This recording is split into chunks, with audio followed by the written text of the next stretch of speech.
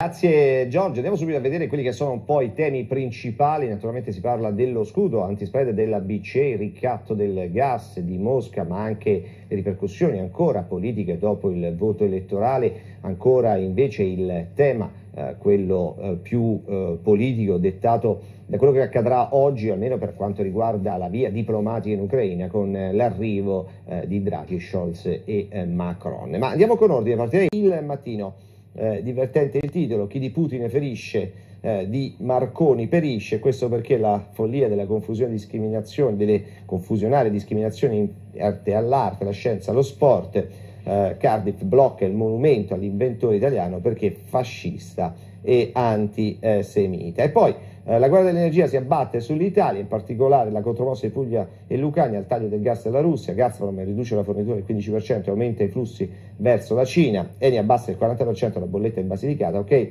Emiliano Edison per il mega deposito di gas di cui fatto a Brindisi, ora è atteso il sì di eh, Cingolani, così racconto sul eh, mattino.